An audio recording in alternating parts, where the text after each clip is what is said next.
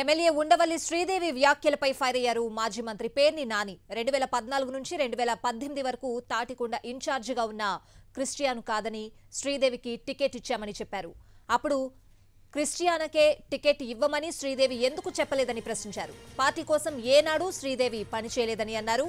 ప్రజల్లో బలం లేదు కనుక వచ్చే ఎన్నికల్లో టికెట్ ఇవ్వమని చెప్తే అది అవమానం ఎలా అవుతోందో అని నిలదీశారు ఆయన.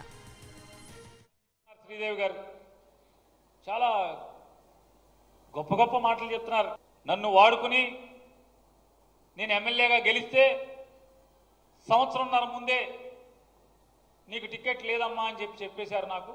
ఇది అవమానం కాదా అని మాట్లాడుతున్నారు. కృష్ణ గారిని పిలిచి అమ్మ శ్రీదేవి గారికి అవకాశం ఇద్దాం. నువ్వు పార్టీతో ఉండు మన ప్రభుత్వం రాగానే మీకు మర్యాదగా చూసుకుంటానని చెప్తే. మా ప్రజల్లో మీరు బలహీనపడ్డారు. కార్యకర్తలు మీ పట్ల ఇబ్బందిగా ఫీల్ అవుతున్నా అని చెప్తున్నారు. కాబట్టి కొత్త అభ్యర్థిని పెడదాం. మీరు పార్టీని నమ్ముకుని ఉండండి. తప్పకుండా మిమ్మల్ని గౌరవంగా చూసుకుంటుంది పార్టీ అని చెప్తే.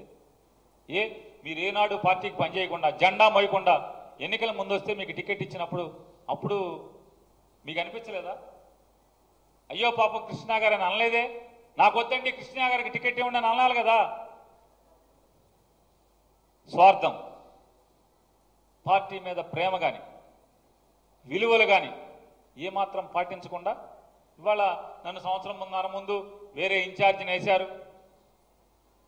నన్ను అవమానం చేశారు. ఎమ్మెల్యేగా అవమానం చేయలేదే. పార్టీ మీటింగ్లకి మొన్న కూడా వచ్చారు కదా మీరు. ముఖ్యమంత్రి గారు నూట డెబ్బై ఐదు ఇన్ఛార్జీలని పిలిచిన వచ్చారు కదా.